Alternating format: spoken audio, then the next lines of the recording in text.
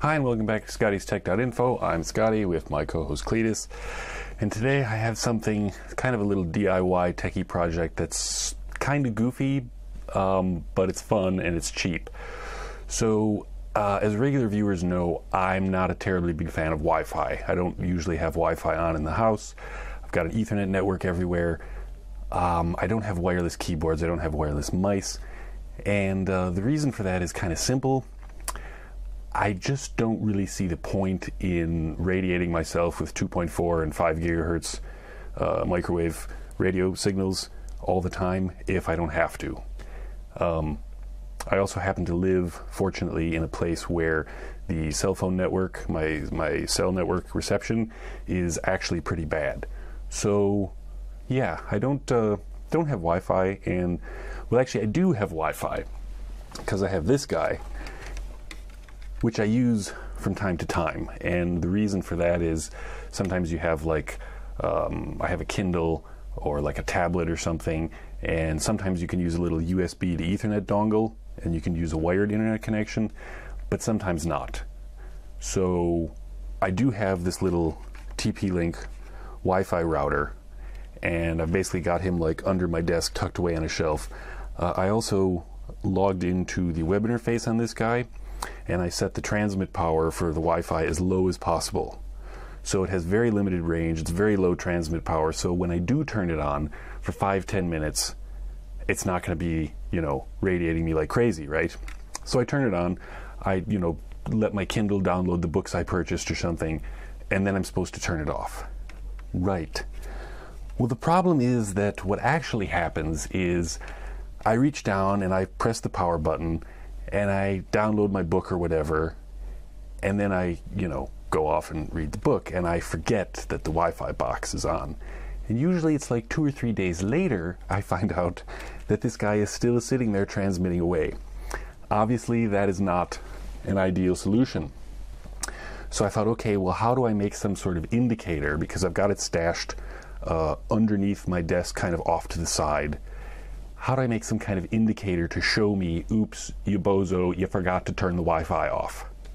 Uh, now this this is actually used. It's connected via Ethernet to my wired Ethernet network for the internet connection, and it's basically only used for Wi-Fi. So I've configured it as a Wi-Fi access point. So if it's on, I got Wi-Fi. If it's off, everything works fine. I'm not actually using it as a router.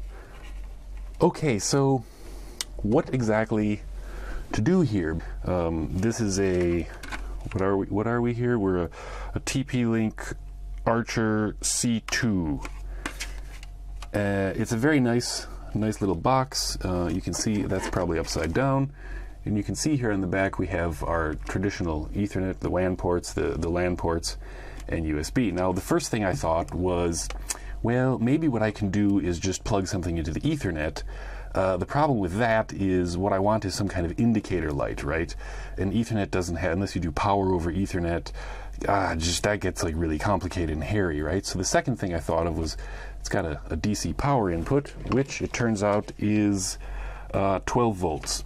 So I thought, well, you know, I could, I could. Uh, put a little plug in here, you know, have a little plug in between these two so that when I uh, press the power switch or something, and then I realized, no, wait, that doesn't work because power goes in, and yeah, you know that's not going to work. So then I then I started fretting, and I thought, well, what the heck am I going to do? And then I realized, like most routers these days, we've got a USB port, and then it hit me. So what I did is I bought some of these little guys. Now these are these are pretty cool because all it is is a little got an LED on that side and an LED on that side and it's a USB plug. So what did I do with my power bank rock here? So you plug it in if I could get it in the right way well, that's an awfully snug fit. Hang on. Woo! so there you go it's just a one watt one watt LED. It's 500 500 uh, milliwatt LED on one on each side. Uses one watts for USB 2.0, which this guy is. Uh, the mac it's 5 volts DC and the maximum current is 500 milliamps. So you've got two and a half watts, and this guy's only going to use one watt. So we're great, right? Except if I plug this into the back of here, well, that's not really going to do me much good. Let me do a little demo here of plug into my power strip. So okay, when when it's on, when the Wi-Fi router is on, the light comes on. When I turn it off, it goes off. That's perfect, right? The only thing I need is a USB extension cable. Ta-da! So I can stick this guy in here.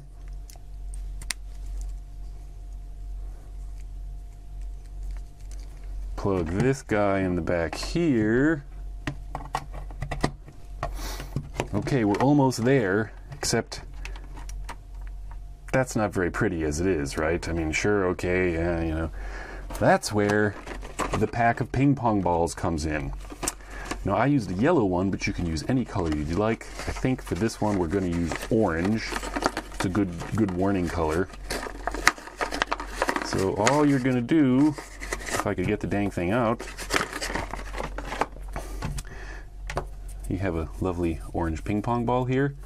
And all we're going to do is cut a hole so we can stick that dude inside. So let me do that real quick. Got my giant pocket knife. Um, these are actually very easy to cut, but let's see if I can not uh, chop my fingers because that would be unfortunate.